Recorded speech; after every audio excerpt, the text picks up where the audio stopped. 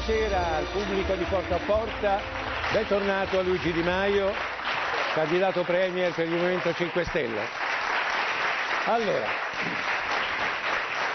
stasera abbiamo lei, domani avremo Matteo Renzi, dopodomani avremo Silvio Berlusconi e per tutti il primo titolo sarà uguale, il mio programma per cambiare l'Italia. Poi entriamo nel merito del programma e quindi andiamo al secondo titolo, reddito di cittadinanza single, cioè persone sole e eh, famiglie, e poi single non significa necessariamente eh, non sposati, significa persone sole o no? Significa persone che non vivono in un nucleo familiare. In un nucleo familiare. E poi riduzione delle tasse, estensione della no tax area, cioè della fascia nella quale non si pagano delle, delle imposte, e ancora Eccolo qua, beh, chiudiamo, le piace Modugna? Bellissimo, fantastico. 1958-2018, così volare conquistò il mondo. Oggi è il compleanno di Modugna, avrebbe compiuto 90 anni, purtroppo se n'è andato molto presto. Allora, prima di parlare del programma con lei e poi nei prossimi giorni con, eh, con gli altri leader politici, eh, volevo parlare un momento delle novità che ci sono state nel nostro movimento, per esempio con la formazione delle liste. Per la prima volta, se non ricordo male, c'è posto per gli esterni, cioè delle persone che ovviamente si riconoscono perché non si candiderebbero, certo. ma non sono i militanti, non sono stati militanti, cosa che non è piaciuta a tutti. Però è una cosa che assomiglia diciamo, alle regole generali, anche gli altri, gli altri partiti. Prendono la società civile, le persone magari simpatizzano per Forza Italia e il Partito Democratico perché non sono né iscritti né militanti. Come mai questa svolta? Beh, diciamo che da, da, settembre, quando sono stato individuato come capo politico del movimento, ho la responsabilità di presentare anche le liste per le elezioni politiche. Abbiamo messo in piedi un nuovo statuto che all'interno contiene delle regole ancora più ferree per chi sarà eletto nel futuro gruppo parlamentare del Movimento 5 Stelle. Tenga presente che ci sarà una regola per cui anche se sei indagato ma dalle carte vengono fuori delle condotte indecenti sei già da allontanare, non bisogna aspettare la ma condanna in primo grado. C'è una distinzione tra tipo di reato? No, c'è una distinzione semplicemente nel fatto che può essere indagato per una querela o può essere indagato per corruzione, fa una bella differenza. Se sei indagato per un reato e dalle carte già esce fuori che non ti sei comportato bene, io non aspetto il terzo grado di giudizio. Questa vecchia questione morale delle forze politiche. C'è un'altra regola che abbiamo voluto introdurre, e mettere nero su bianco, che riguarda la multa per chi cambia casacca. Io lo voglio assicurare agli italiani. Se andiamo al governo faremo una norma costituzionale che impedirà a chi cambia casacca di restare in Parlamento, se ne deve andare a casa chi cambia casacca. E la terza cosa questa è una legge costituzionale, forse non, non tutti i nostri sì. ascoltatori sanno che questa cosa eticamente è anche comprensibile perché quest'anno abbiamo visto 500 cambi di casacca da parte di 300 parlamentari. In questa cioè, legislatura ce n'è stato uno ogni tre giorni in pratica durante però, tutti i cinque anni. la Costituzione dice per rendere libero il parlamentare, il parlamentare non ha vincoli di mandato, nel senso può fare quello che gli pare sostanzialmente. Beh, I nostri avvocati sono al lavoro per, far, per, per permettere ai nostri candidati di sottoscrivere un impegno impegno che li obbliga a pagare una multa se vogliono cambiare forza politica, questo per rispetto degli elettori e per chi ci vota. E poi una terza norma importante, poi vengo alla, sua, alla risposta alla sua domanda, che è quella sempre dei, dei, soldi. Da noi si rinuncia al vitalizio, ci si taglia gli stipendi, niente trattamento di fine rapporto, niente doppi stipendi e la credibilità nel dire questa cosa io ce l'ho perché da vicepresidente della Camera mai toccato auto blu, volo di Stato, doppio stipendio, doppi rimborsi, ho tagliato il mio stipendio da deputato e ho rinunciato al vitalizio. La novità, Vespa, è che si stanno avvicinando al movimento tante personalità che vengono dal mondo del giornalismo, dal mondo dell'università, dal mondo delle imprese. Quindi adesso non si vomita più per mondo... i giornalisti, No, io insomma. ho sempre fatto gli opportuni distinguo e ah. vedo che si stanno avvicinando tante persone che vogliono contribuire a questo progetto. L'atteggiamento che abbiamo avuto e che stasera voglio continuare ad avere nel lanciare un appello anche per la formazione dei collegi uninominali e dire alle migliori energie di questo Paese, entusiasmi, le migliori persone che hanno voglia di fare e di cambiare, che se vogliono, voglio dire a quelle persone, se volete cambiare questo Paese, il movimento è un movimento aperto. Certo, come diceva lei, bisogna condividerne i valori, i principi, bisogna rispettarne le regole, alcune le ho enunciate, un'altra è che se ti candidi nel movimento devi candidarti nel tuo luogo di residenza, non è che vieni paracadutato a Trento perché c'è un collegio sicuro, ti, ti, candidi dove sei residente perché devi conoscere il territorio. Ma questi nomi un po' più noti li proteggerete anche nel proporzionale o li mandate eh, nell'uninominale? No, io guardi, ho apprezzato tantissimo rischioso. una cosa, le dico, eh. che persone che come dire, hanno tanto da perdere anche nello schierarsi col movimento, nel senso che il movimento comunque è una forza politica che per chi ha una professione, chi ha un lavoro,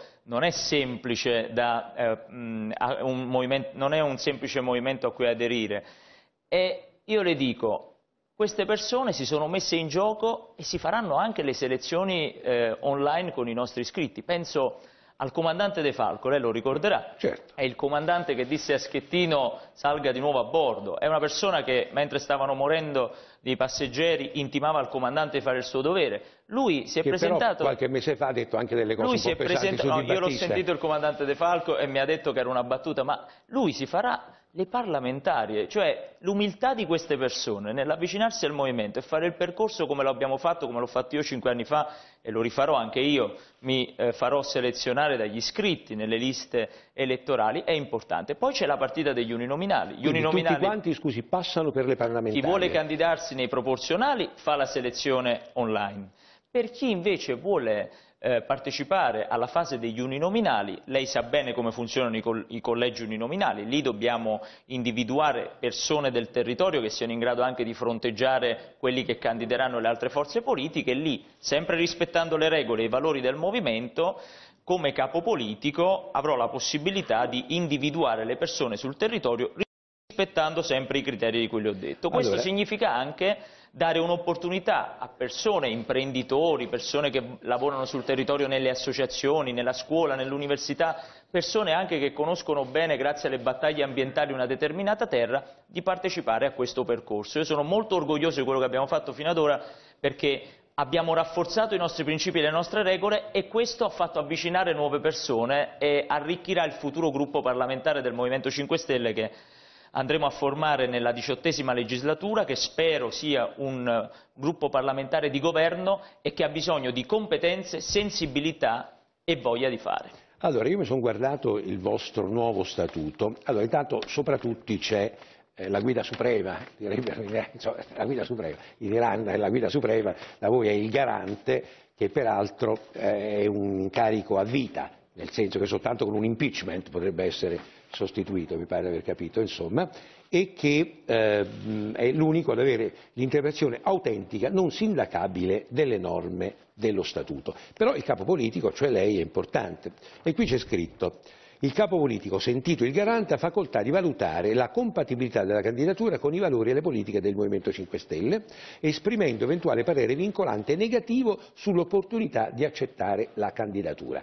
Tutto questo avviene prima delle parlamentari o dopo? Avviene sempre, perché io devo tutelare insieme, come ha letto, insieme a Beppe Grillo, che è uno dei fondatori, l'altro era già Roberto Casaleggio che ci ha lasciato, io devo tutelare il movimento anche da approfittatori, da persone che credono di poterlo utilizzare per guadagnarsi un posto in Parlamento.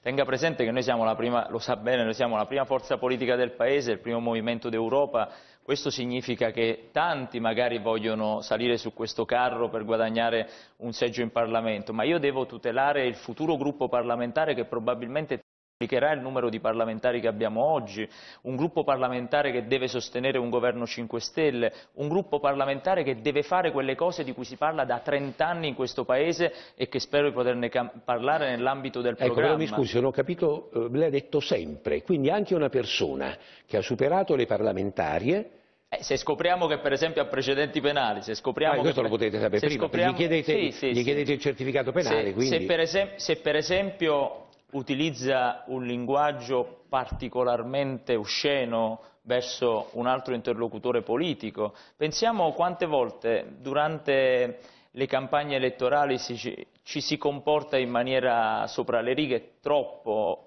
in maniera troppo scorretta, oppure pensiamo a una persona che compie un atto non etico o addirittura illegale durante la campagna elettorale, io devo avere comunque il modo di allontanare questa persona. Quindi può, può verificarsi di nuovo il caso Cassimatis.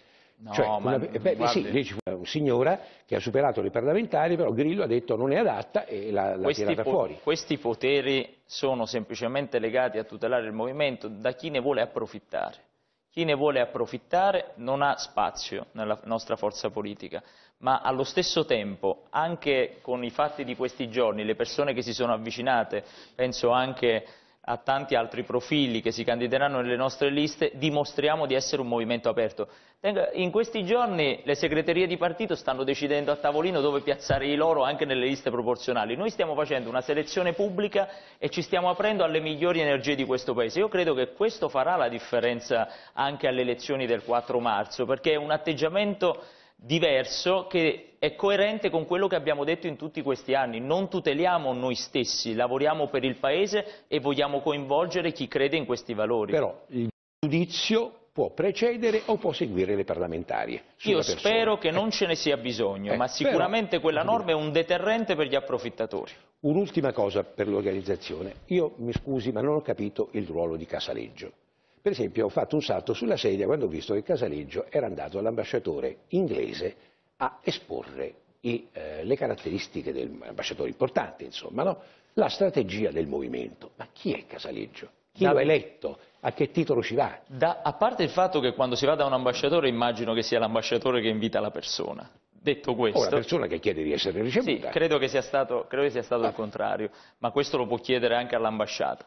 Per quanto riguarda Davide Casaleggio, Davide è la persona che a costo zero ha progettato i nostri sistemi operativi insieme a suo padre, Gian Roberto Casaleggio.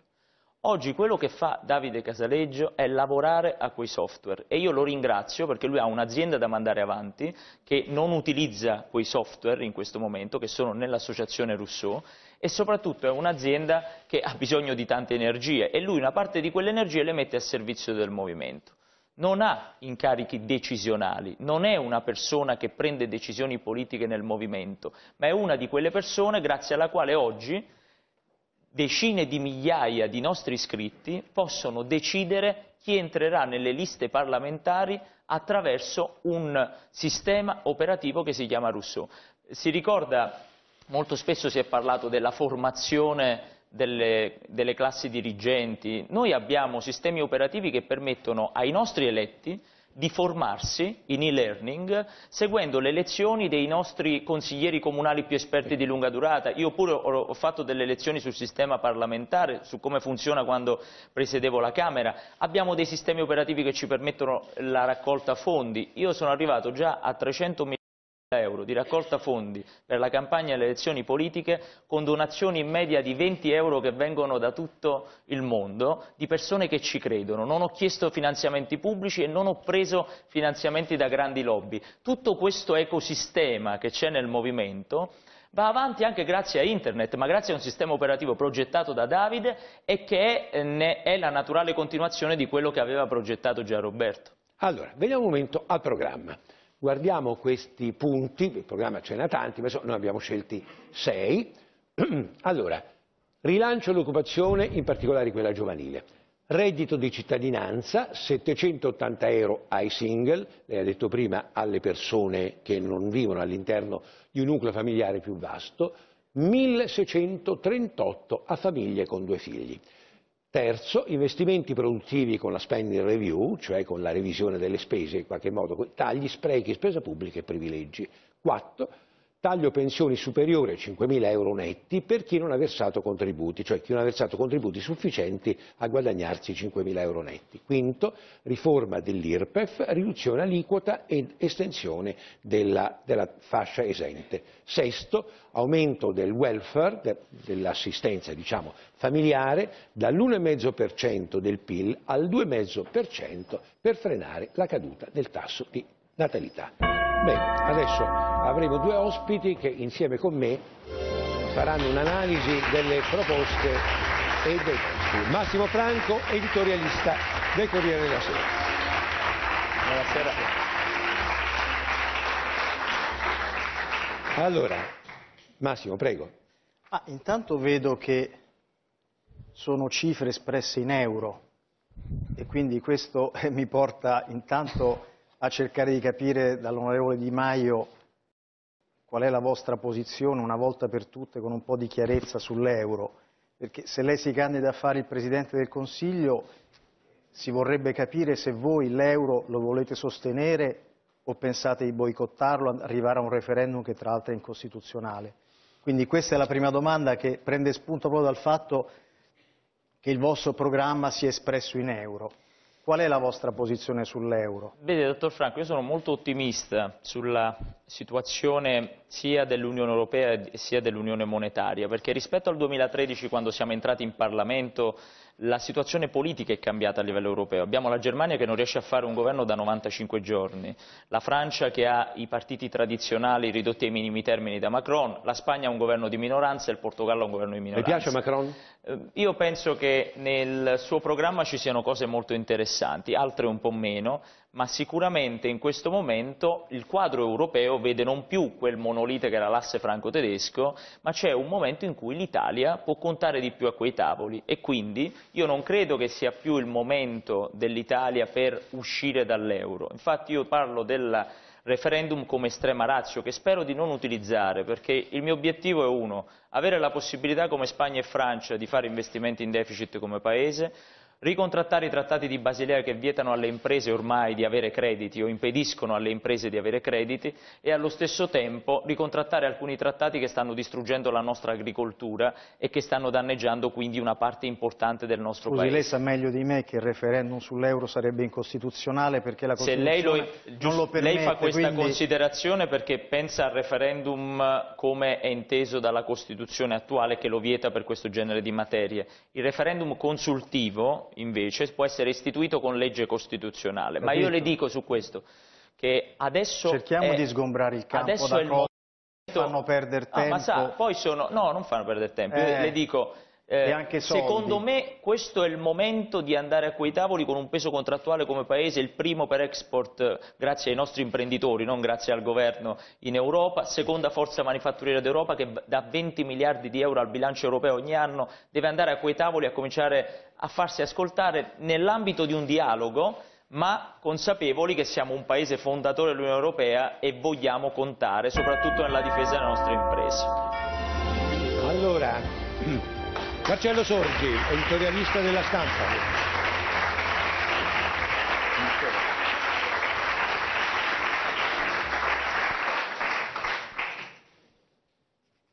Prego. Mi sembra un programma vasto, piuttosto vasto, di quelli che richiedono tempo. Che nel caso in cui il Movimento 5 Stelle vincesse le elezioni e formasse il governo, è naturale aspettarsi dagli elettori del Movimento 5 Stelle una certa impazienza, un po' perché voi siete stati cinque anni all'opposizione, denunciando quelle che dal vostro punto di vista sono le malefatte degli altri partiti, sia di quelli che stavano al governo che di quelli che stavano all'opposizione con voi. E, e, e quindi eh, dopo cinque anni è lecito aspettarsi una certa impazienza che per esempio solo per dire eh, dice, andremo sui tavoli europei eh, a discutere eh, di far, far, cambiare i criteri, ma quello, cioè, ci sono eh, un certo numero di Presidenti del Consiglio, di Ministri degli Esteri e dell'Economia che ci hanno provato prima di voi senza riuscirci. Renzi si prese addirittura delle rampogne perché gli dicevano che alzava un po' troppo la voce, che eh, faceva troppe polemiche, che in Europa bisogna adoperare degli argomenti più pacati. Quindi il programma lo trovo vasto e, e, e a rischio di richiedere il tempo che poi porta a una delusione, che tutti i programmi riformatori eh, se non si realizzano eh, poi eh, si scontrano contro lo scetticismo degli elettori. Guarda, e le chiedo questo, sì. siccome ovviamente per, fare, per, realizzare un programma di questo genere, a parte i costi insomma, che sono Adesso da, vedremo, da, costi, da vedere, vediamo le compatibilità. eh, eh, ho visto peraltro che c'è un aumento del reddito di cittadinanza, cioè con due figli passa a 1638 euro, quindi quei 17 miliardi che erano stati calcolati come costo del, del no, reddito no, è, tutto da... dentro, è, tutto lì dentro, Adesso quello... poi lo vediamo. Ma insomma, le vorrei chiedere questo. Lei, lei ha detto, se vinciamo, bene, ma se ci dovesse mancare qualcosa, faremo un appello. E, e a chi vi rivolgerete? Su quali punti cercherete di fare l'accordo? Cioè, guarderete più a sinistra o più a destra, più verso eh, Grasso, che sembra un vostro interlocutore, più verso Salvini, che in passato lo è stato, adesso mi pare che negli ultimi tempi lo sia un po' meno. Io le dico che eh, noi stiamo in questo momento avviando in Italia marzo ci farà capire quale sarà il peso specifico dei singoli gruppi parlamentari in Parlamento. Si parla molto eh, di Grasso, della sinistra, ma noi dobbiamo capire prima quanti parlamentari prendano, come quando si parla di Salvini o si parla di Berlusconi, ricordo che sono partiti del 14, del 15, quindi bisognerà vedere quanti parlamentari prenderanno. Quindi adesso è prematuro dire con chi. Io le dico, il nostro obiettivo è arrivare al 40% e governare da soli. Se non dovessimo riuscirci, la sera delle elezioni cominceremo a capire con un appello pubblico chi vorrà starci non sulle poltrone ma su quei temi lì. Tra l'altro molti di quei temi che sono stati i nostri cavalli di battaglia in questi anni ormai sono nei programmi elettorali di tutte le altre forze politiche, quindi non credo sarà difficile per le altre forze politiche convergere su un reddito di cittadinanza, sul taglio delle tasse, sulla riforma dell'IRPEF, sull'aumento del welfare familiare. Lo dicono ma tutti c'è un appello, l'appello sarà rivolto ai segretari degli altri partiti o ai singoli parlamentari che possono, no, sarà, rompendo il... Sarà rivolto ai gruppi parlamentari, perché noi dobbiamo costituire una maggioranza che dia la fiducia ad un governo che avrà una squadra già presentata prima delle elezioni politiche, che presenterò io, con i candidati ministri, e quella proposta sarà la proposta che riceverà adesioni sulla base di priorità del Paese. Potremo anche fare degli incontri pubblici Quindi, dopo. per esempio, se una parte dei deputati del PD in rotta con Renzi, che farà la campagna elettorale tutta contro dicesse perché no, proviamoci, sarebbero no, no, io, i benvenuti. Io faccio, io faccio l'appello ai gruppi parlamentari, non, vo, non, stimolo e non voglio cambi di casacca, dopo tanti anni che ho chiesto che si fermassero i cambi di casacca e volta gabbana. L'appello va ai gruppi parlamentari. Chi risponderà quella sera sarà un interlocutore nei giorni successivi perché faremo degli incontri eh, trasparenti di consultazione e formeremo quella maggioranza intorno ai temi per il Paese che si proporrà al Presidente della Repubblica. Allora, vediamo adesso, abbiamo con gli amici del Sole 24 Ore, con lei come faremo con gli altri eh, leader politici, abbiamo fatto due conti su quello che voi volete fare. Allora, l'impegno più grosso, lodevole naturalmente, visto che con il debito che abbiamo, togliere, andiamo sotto, oh, i, 100, sotto i 100 punti, diciamo, quindi significa metterci in linea con le altre democrazie europee, taglio di 40 punti di debito sul prodotto interno lordo in due legislature, quindi in dieci anni. Allora, sono sostanzialmente 700 miliardi, grosso modo, perché il, il PIL, quello che noi produciamo, è 1750 più o meno, insomma. Quindi 350 miliardi a legislatura, significa 70 miliardi all'anno, quindi una bella botta, insomma. Poi il reddito di cittadinanza ai disoccupati, 780 euro per eh, il single, 1638 euro al mese se la famiglia ha due figli. Eh, qui il calcolo sono 24 ore, più o meno coincido al vostro, perché tra i 15 e i 20 miliardi, quindi voi dite 17 ci siamo. E poi il welfare familiare, cioè da un punto e mezzo del PIL, allora facciamo due conti, il PIL eh, sono 20, da 22 miliardi. miliardi a 40 più o meno miliardi all'anno, grosso modo insomma eh, scusi, da, mh, nelle due legislature saranno 17 miliardi l'anno più o meno. Sono 1800 miliardi il PIL, quindi Sì, sono, esattamente, eh, esattamente. 1750, quindi più o meno un punto, è eh, 17 miliardi e mezzo. Il totale, andiamo a vedere quanto costa, costa 104 miliardi all'anno, che è una roba molto impegnativa. Voi dite 50 miliardi a bilancio statale per sprechi e privilegi, poi vediamo. Poi la storia delle pensioni sopra i 5 mila euro, gli esperti ci dicono che è calcolabile con enorme difficoltà. Una cifra realistica potrebbe essere 2 miliardi.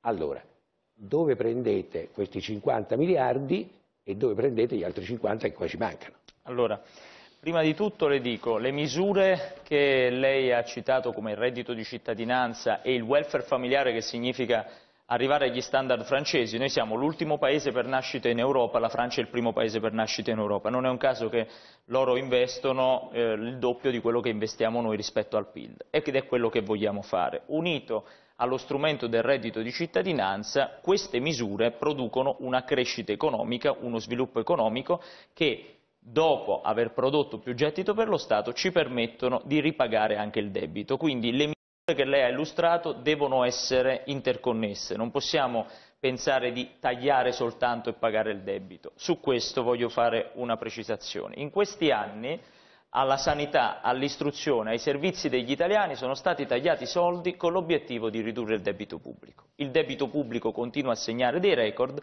e alla fine la ricetta non sta funzionando. L'unico modo per far funzionare questa ricetta è come se io avessi un'impresa debba fare degli investimenti e invece di prendere i soldi chiedendo un prestito, facendo gli investimenti, rilanciando l'impresa, ripagando il prestito e continuando ad andare bene col mio business, è come se invece io mi mettessi a, a vendere i macchinari non avrei i macchinari per produrre e non avrei i soldi per far crescere l'impresa e farla sviluppare. Però prima lei ha, principio... detto, lei ha detto a proposito del 3%, questo vincolo sì. malefico che ci portiamo addosso, lei ha detto io vorrei fare, vorrei sfondarlo in qualche modo come fanno la Francia e la Spagna. Sì. Ora dal 2009 ad oggi l'Italia l'ha sfondata e la Spagna otto volte. Però eh, allora non gli hanno detto niente, la, Francia, la, la, Spagna stava sotto tutela per un certo periodo, la Francia che ha dei parametri pessimi complessivamente, però ha un debito molto più basso.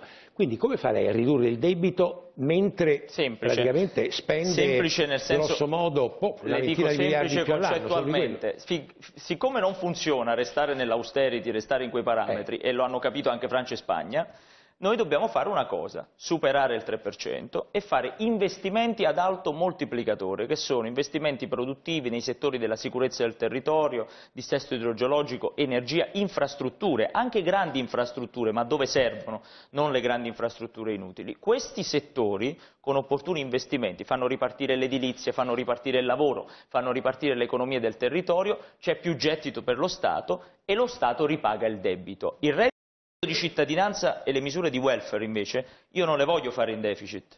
Il reddito di cittadinanza ha tutte le coperture e non chiedo di sforare il deficit per il reddito di cittadinanza, chiedo una cosa e le assicuro una cosa, l'assicuro agli italiani, il mio governo non lascerà mai più una persona singola o una famiglia di pensionati o una famiglia di italiani che hanno due figli con meno di 14 anni sotto la soglia di povertà.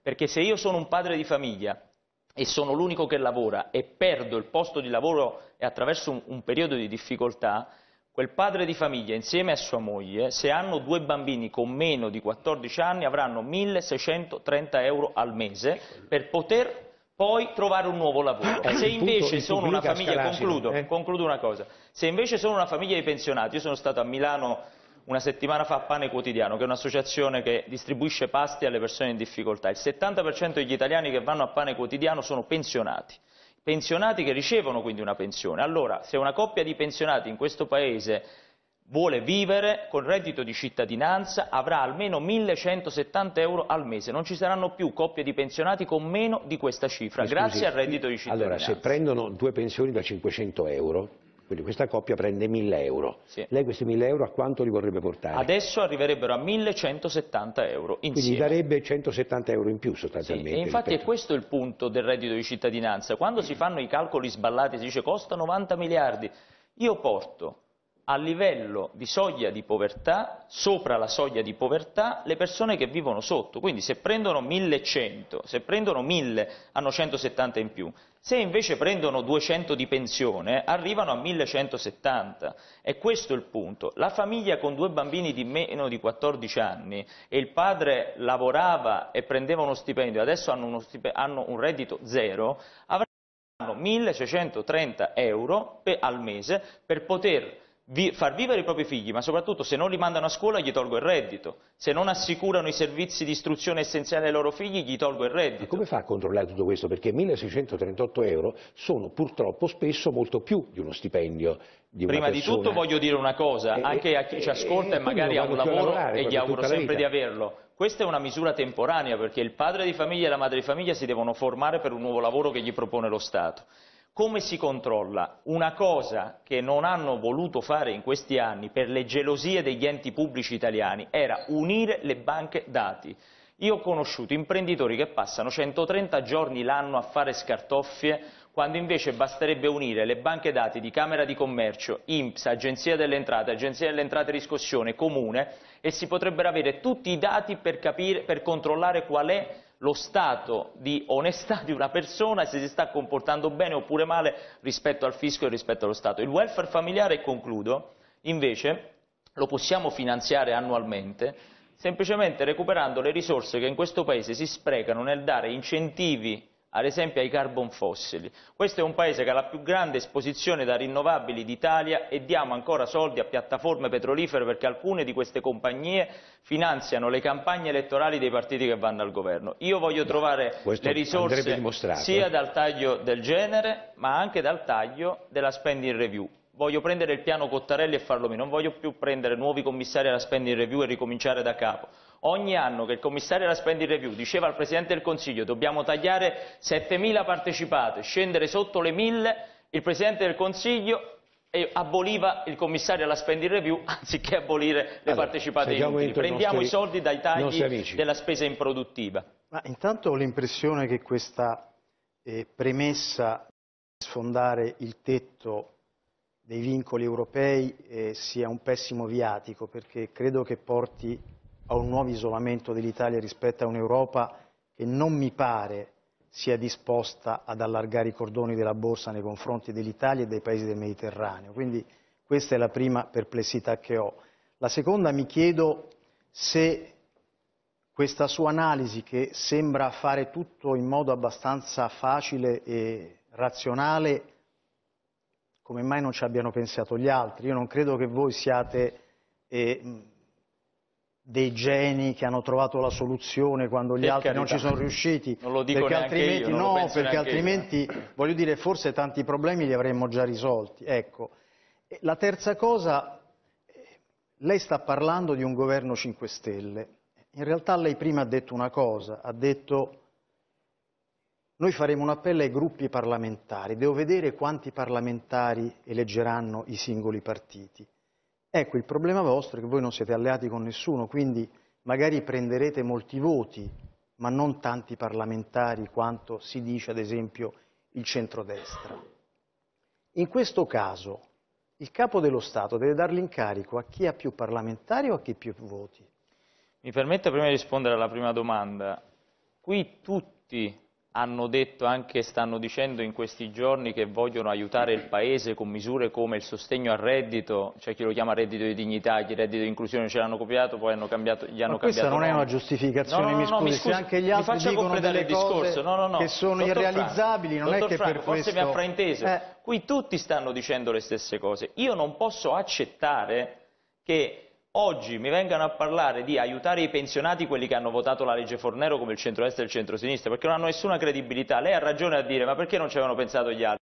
No, ci avevano pensato, però quando bisognava tagliare la spesa improduttiva dello Stato e tagliarsi qualche privilegio o qualche rendita sul territorio dei loro presidenti di regione e sindaci, è lì che hanno scelto di tagliare dalle pensioni degli italiani. Quei signori che oggi parlano di sicurezza hanno fatto gli svuotacarceri il centrosinistra, le leggi ad personam per Berlusconi che hanno tirato fuori dal carcere un sacco di gente il centrodestra. Lei sa che abolire Queste- la legge Fornero queste calcolato costi persone 20 qui- miliardi di Sì, euro. e se forse se ne è accorto Berlusconi, visto che l'aveva sancito 24 ore fa con Salvini, il quale aveva detto aboliremo la legge Fornero e poi adesso oggi Berlusconi ha detto non la aboliremo più. Ha detto Noi- faremo dei correttivi. Sì, faremo dei correttivi. Sappiano gli elettori della Lega che Salvini per qualche poltrona in Parlamento si è svenduto la battaglia sulla legge Fornero.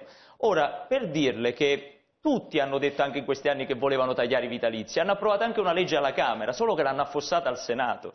Questa campagna non si baserà solo sui programmi, i programmi sono importanti, ma è importante la credibilità di chi porta avanti quei programmi. Secon- sul secondo punto, che è quello che anche gli italiani vogliono capire, nel senso un governo 5 Stelle come si formerà? Io non pretendo dal Presidente della Repubblica un incarico di governo fondato sul nulla. Ed è per questo che dico che se non dovessimo avere i numeri, ma questo dipenderà dagli italiani, perché io gli chiedo di non votare per quelli che li hanno ridotti in queste condizioni e adesso dicono di volergli risolvere il problema. Ma se non dovessimo avere i numeri, noi faremo un appello pubblico ai gruppi parlamentari, come le ho detto, proprio per creare i presupposti di un incarico di governo. E per creare i presupposti di un incarico di governo deve cambiare il paradigma. Con me non funziona che dammi quel ministero, dammi quell'altro ministero, no, dimmi qual è la tua priorità per il Paese, su cosa vogliamo metterci al lavoro, se vogliamo metterci al lavoro per le imprese. Domani a Milano Vespa presenta un progetto per abolire 400 leggi italiane, perché io penso che in Italia la politica pubblica, le politiche pubbliche si facciano con i soldi, ma dobbiamo abolire un po' di leggi. E la nostra legislatura, se sarà di maggioranza, quella la diciottesima da marzo, non sarà una legislatura che farà nuove leggi, ne abolirà con una 400 Però, scusi, le avevo che creano un sacco cosa. di adempimenti, concludo, un sacco di adempimenti per le imprese e non fanno capire più ai cittadini quando hanno un problema quale sia la legge di riferimento per quel problema e l'ente che glielo deve Io risolvere. le avevo chiesto un'altra cosa. Il capo dello Stato, secondo lei, affida l'incarico di formare il governo, di provare a formare un governo, a chi ha più parlamentari o a chi più voti? Ma io credo che debba dare l'incarico di governo a chi ha una maggioranza. Io credo che l'unica maggioranza... costruire No, una ma, maggioranza. ma mi scusi, mi scusi. A chi può costruire una maggioranza. È questo il punto. Ma lo dico anche... Da... Io sono stato vicepresidente della Camera per cinque anni, conosco le dinamiche dei gruppi parlamentari. Io non voglio dire al Presidente Mattarella deve dare l'incarico all'uno o all'altro Anche perché, è perché non bello. credo che Mattarella ubbidisca a voi o ad Ma non altri mi in modo- permetterei mai, dottor Franco, come non mi permetterei mai di chiedere, eh, di pretendere qualcosa. Io però le dico, se noi dovessimo essere al Paese alle future elezioni, In termini di voti o di seggi? in termini di voti, poi spero anche di seggi, perché adesso si fanno delle proiezioni sugli uninominali, ma i nomi nostri degli uninominali non si conoscono ancora. Quando conoscerete i nomi degli uninominali, quelle proiezioni probabilmente saranno smentite, perché i collegi uninominali si giocano sulle persone del territorio, quanto conoscono il territorio e quanto consenso sanno muovere. Però il punto è che io non vedo alternative, nel senso che il centrodestra ha fatto questa grande coalizione in cui si è caricato anche Mastella, Cirino Pomicino, che sarebbero quelli che, devono- che dovrebbero cambiare in questo Paese le cose, quelli che l'hanno ridotto in queste condizioni. Il centrosinistra è fuori combattimento, la coalizione centrodestra la sera delle elezioni, il 4 marzo, non avrà il 51% dei seggi e si disgregherà come è successo in Sicilia. In Sicilia non c'è più la maggioranza all'Assemblea regionale siciliana perché già Salvini e Musumeci hanno litigato e il presidente dell'Assemblea regionale siciliana che si chiama Miccichè l'altro giorno non aveva il numero legale e ha autorizzato la votazione senza numero legale, quindi è ormai al cosiese vi pare, non ci sono le maggioranze ma continuiamo... Lei è molto giovane, ma nella Prima Repubblica è capitato di essere Presidente del Consiglio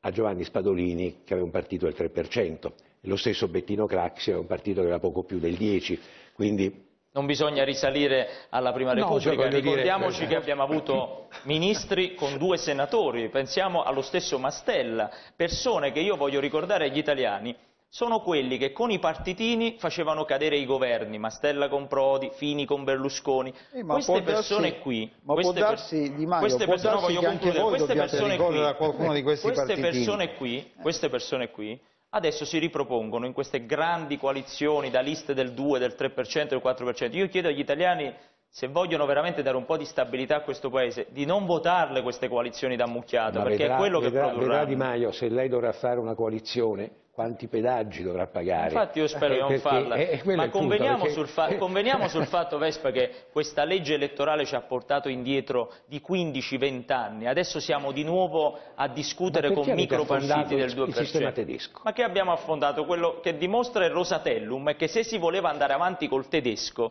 si poteva andare perché questa legge elettorale è stata approvata utilizzando l'impianto della legge che dicevano di aver affossato perché avevamo preso il sistema tedesco e l'avevamo applicato anche al Trentino Alto Adige. Alla fine era una scusa perché si erano resi conto che con quella legge elettorale noi avevamo un numero di seggi troppo alto perché col proporzionale il Movimento 5 Stelle giustamente ottiene il numero di seggi che merita perché è la prima forza politica del Potevate Paese. tenervi il tedesco. Ce l'hanno fermato loro, non l'abbiamo Vabbè, su affossato questo noi. sono pensiero diverse. Posso fare Prego. una domanda un po' più pratica, se no facciamo Prego. troppa politologia. Eh, guardi, io non sono di quelli che dicono che i guai di Roma sono tutta responsabilità della Raggi, perché insomma vivo a Roma da qualche anno e so che è una città molto complicata, ma i rifiuti di Roma, non, non- non trova che un partito che si candida a guidare il Paese dovrebbe trovare una soluzione per questo problema che affligge Certo, tutti i cittadini di Roma noi- e che rischia di diventare allarmante, perché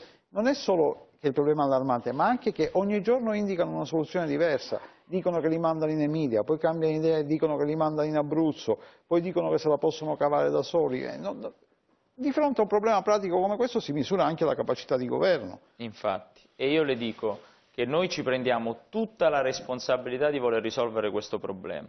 Un problema che conosciamo quanto è grande e che nel, nei periodi come quelli di picco, come nei periodi delle festività natalizie, si è sempre previsto che una città come Roma prevedesse di mandare i rifiuti in un'altra regione per gestire l'emergenza. Solo che a differenza di quelli di prima, noi in questo periodo in cui si prevede magari di mandarli in Emilia Romagna o in Abruzzo, abbiamo già aumentato la, la raccolta differenziata e stiamo costruendo tre impianti, perché gli impianti non c'erano e si mandavano i rifiuti fuori regione.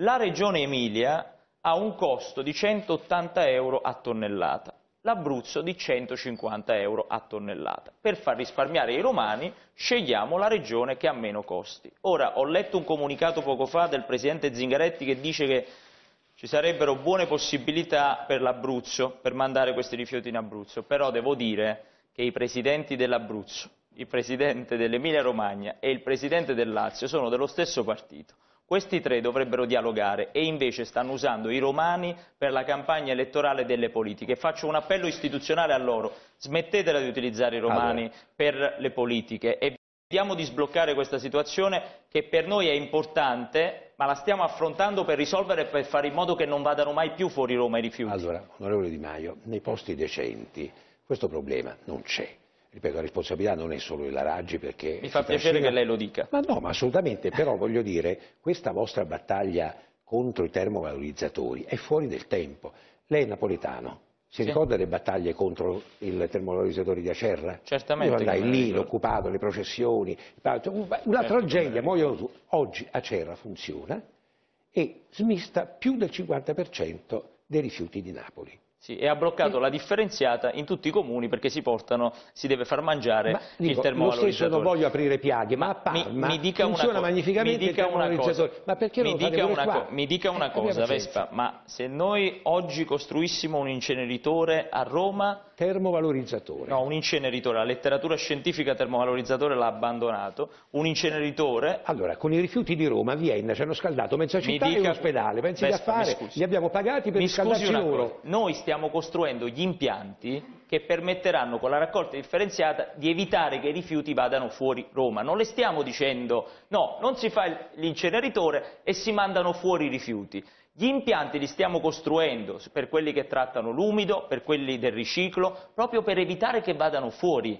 Lei mi sta dicendo ma perché non fate un inceneritore? Ci vuole meno a fare un impianto che stiamo progettando noi che fare un inceneritore. Quindi il problema in ogni caso esisterebbe in questo momento. Il problema è che i presidenti delle altre regioni forse sono di quel partito che stanno un po' maliziosamente rilasciando interviste e temporeggiando per impedire a Roma di trasferire i rifiuti come ha sempre fatto. Ma noi lo vogliamo risolvere e abbiamo già avviato la progettazione dei tre impianti che servono, oltre ad aver aumentato la differenziata nel quartiere ebraico all'80% in questo momento. Un minuto e mezzo prima della chiusura. Brevissima domanda. Lei mi sembra stia evocando un complotto dei presidenti di regione del PD contro ah, no, il Movimento 5 Stelle. Complotto. No, ma voglio dire, comunque sia di un uso strumentale di questa... Conosciamo queste dinamiche di quest... politiche. Sì, ecco, però sì. volevo dirle, non è un po' troppo autoconsolatorio dar la colpa ai presidenti di regione del PD, che magari qualcuno ci penserà pure, però forse il primo problema è quello di non avere neanche voi come alcuni predecessori, fatto abbastanza per risolvere il problema? No, io le dico semplicemente una cosa. I cittadini devono sapere che qualsiasi problema che noi mettiamo nel programma come problema risolto ha bisogno di una programmazione e noi questa programmazione la stiamo dando anche nel programma nazionale. Io per esempio non ho mai detto che diventiamo un paese di energie rinnovabili dall'oggi al domani. Diventiamo un paese di energie rinnovabili con un programma energetico nazionale che ragiona da qui ai prossimi vent'anni nell'arco di una legislatura chiude le centrali a carbone, poi comincia a investire nelle rinnovabili per uscire dal petrolio, tutto è programmazione. E la differenza rispetto a quelli di prima che facevano mangiare gli impianti di Cerroni a Roma è che noi stiamo costruendo gli impianti della città per non far fare più il business sui rifiuti con i soldi dei romani. Ed è questa la differenza tra quelli di prima e quelli che ci sono adesso, con tutti i tempi che ci vorranno per raggiungere l'obiettivo. Allora, grazie a Luigi grazie Di Maio. Che speriamo possa tornare presto da noi e adesso Domenico Modugno, lei è troppo giovane per... In che anno è nato? Lei che anno è nato? 86. 86, beh, insomma, allora, Domenico Modugno allora, si goda del blu dipinto di blu, eh, che apre la pagina di Modugno. Grazie.